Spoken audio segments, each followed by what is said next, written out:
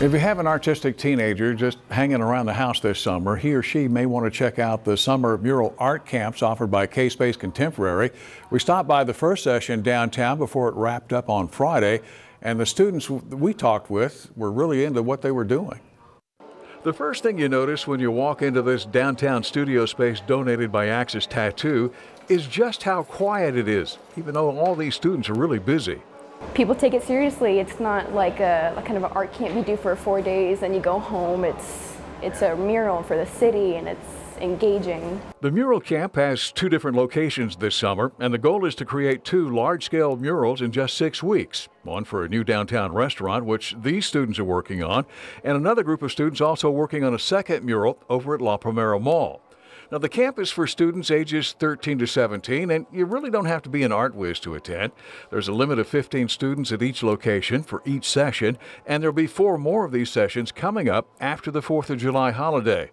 The tuition $160 a session, $140 for K-Space members. It includes all the materials. Um, we do yoga once a week. We do a, a, walking tour to go look at public art. We have professional artists teaching them. Sandra Gonzalez, the Laredo artist who did the mural on the side of the Caller Times building, is one of the camp instructors. And so is Myra Zamora, who did these mural panels on the Art Center of Corpus Christi down on the Bayfront.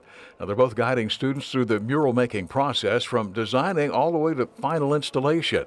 And Corpus Christi artist and longtime art teacher Tony Armadillo is also one of the instructors on hand to share his knowledge. And we're just talking about how to arrange, how to consider your second and third step, and letting them realize that there's a lot of mental thought that goes in. Even though it looks like all they're doing is applying the paint, they have to think two or three steps ahead.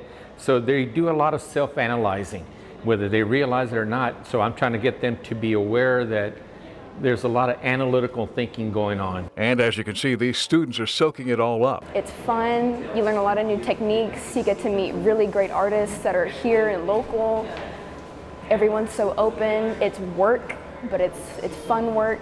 It's not a daycare. You're here and you're doing things constantly for a great outcome, and it's just fun. And while the camp is designed to be a fun-filled, creative experience, it's also about a lot more than just painting murals. I think one of the things that the kids take away from this program is a sense of pride, and that they've been able to come together with other people that have a sense of wanting to create something beautiful for our city and to be involved with something so important.